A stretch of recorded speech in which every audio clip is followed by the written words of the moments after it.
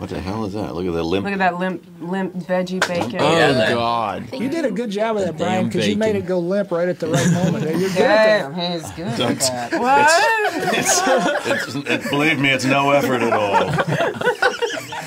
Make it go limp. God. There's the lovely Anna Gunn, of course, and the, and the lovely You RJ wake Mitte. up early.